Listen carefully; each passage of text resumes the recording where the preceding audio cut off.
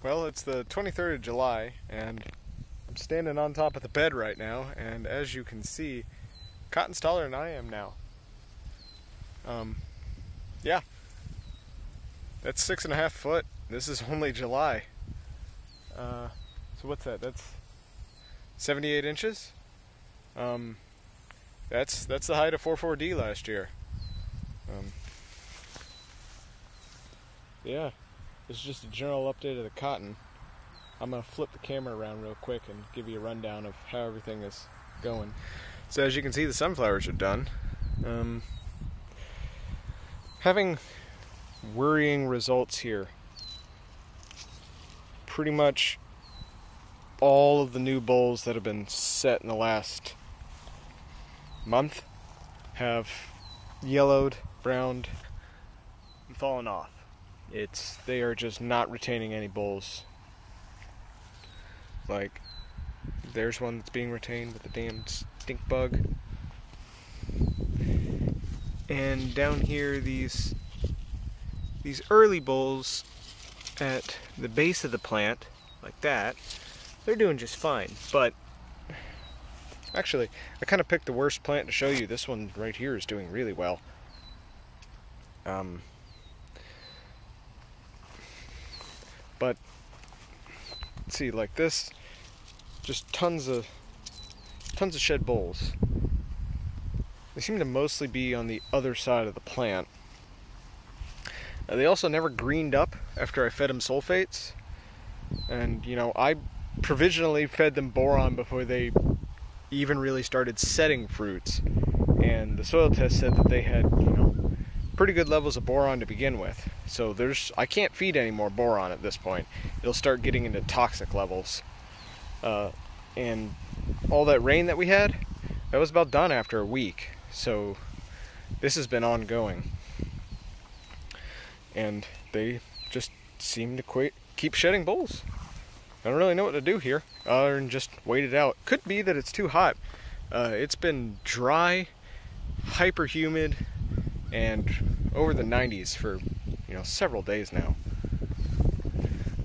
Um, that's my only thought is it's just been really dry and really hot and the cotton just has been stressed and so it's dropping fruit. Uh, it can't be nutrient related at this point and if it is there's i have no idea what it is. I've already done a soil analysis. But the plants are healthy and the plants are big and they are setting fruits. It's not all of the fruits and we'll see as it goes, as time progresses. Well, it's August 10th now. It's my uh, predicted first day for picking, so we're out here looking for any open bolls. And that looks like it might be doing something right there. Definitely opening. Uh, let's see if there's anything worthwhile in it. This one seems kind of sickly though.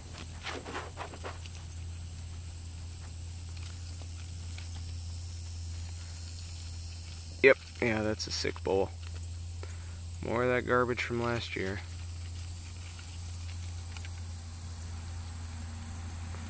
Not really too much in there worth saving. We're just going to leave that like that for now. I will mark that down though. Alright, let's get back to looking. That one's about ready to pop. And that one looks healthy.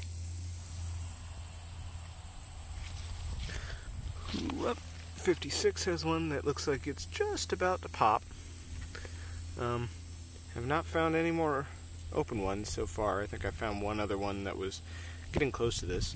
Good number of uh, nice looking bolls, but they're all down on the bottom. Uh, still a lot of dead bolls up on top. Um, so I think like last year we're going to have a pulse of picking at the start of the season, and then it's going to go dry for a month, and then it'll pick back up. Um, although they don't really seem to be setting anymore. Uh, they they have a. It looks like they have a, a, very set amount that they want to have, and uh, they're sticking with that, and they're not putting any more on. All right, down here, 63 has this weirdness going on. I don't know what this is about. Um, yeah, it's just got two down here that are like small and all hardened up. And then it's got one over here that's black, so I think this might be disease related. Never seen that before. These are definitely hard locked though. Yeah, there's there's nothing usable in either of these. Yeah, so that's some kind of disease, so there's three gone right there.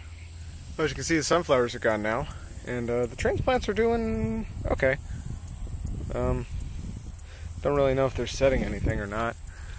Didn't really look like it, um, but they got a couple. Doesn't look like they're dropping them yet.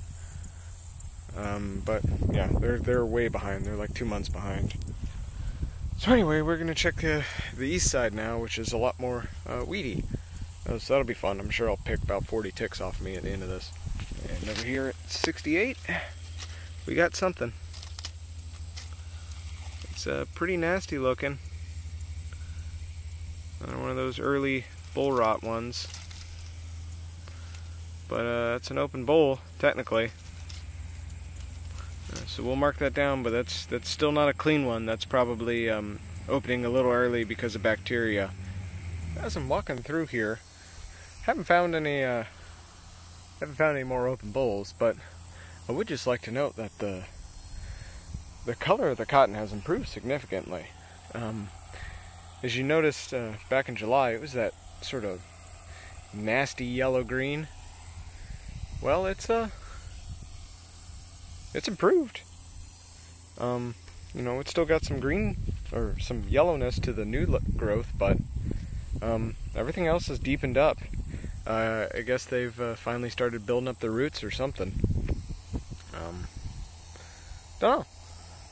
Uh, don't know whether they were they had too much water, not enough water, too little nutrients, grown too fast, something, whatever. But whatever it is, it seems like they're starting to bounce back from it, uh, at least vegetatively. Uh, these things are huge. Like uh, these, these are all like six foot plants right here that you're seeing, which is pretty crazy. Yeah, I think that guy right there might be the wolf plant. Anyway, let me get back to looking. This one's getting real close, and it's looking real good. That's the next weaker for sure right there. Once they once they start browning their leaves like that, they're about to pop. Well, that's all she wrote. I went through the whole thing. Saw some really nice looking ones that are about to go, but really all I got was two nasty premature bolls. And that's that's what they do when they've uh, got too much bacterial blight in them. They they open early and you can you can tell just by looking at them. You see how there's still color in the leaves, and it's already open. Yeah, when when they're when they're truly mature and they're not opening due to sickness, uh, the boll stays uh, totally green, and then the leaves brown. Then the boll opens. Uh, but uh, but if it's open and the leaves are still green, that's usually a bad sign. Uh, well, that and the leaves have you know these spots and crap on them. Anyway, I'm going to go back through and I get some height measurements just because I'm curious. There's our current biggest plant. It's uh, number 60. It's 81 inches tall. And we got one other one over there, that one right there. It's 80 inches tall. So they're, I'm going to say they're tied because that's uh, it's within the error of this, this yardstick that I'm having to use. So pretty consistent. I measured a couple that were in the high 70s.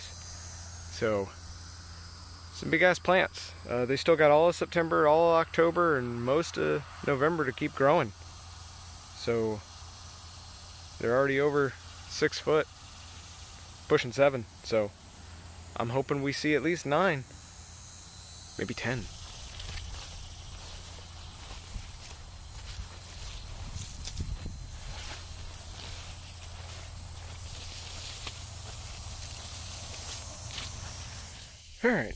Here's the Hutchinson House cotton. I'll be frank, looks like shit. Yeah. Uh, hadn't really changed in a month, has it? Uh, only gotten worse. As uh, deer just won't just won't quit. Transplants are still, for the most part, alive though.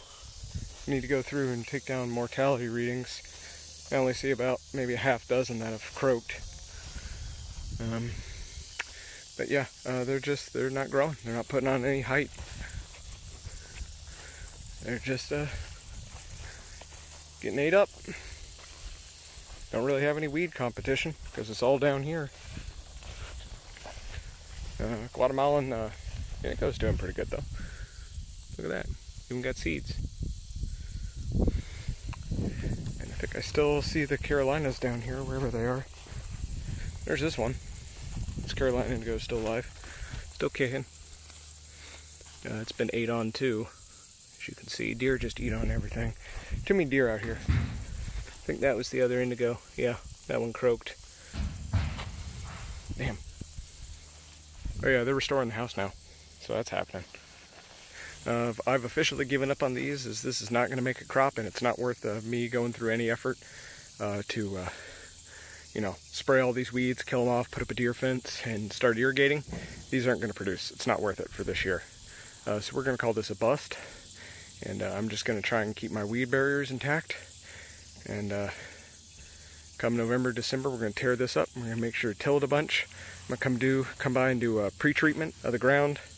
You know, couple weeks before I till it, till it, let it sit, do another pre-treatment, uh, form the beds, put on the barriers.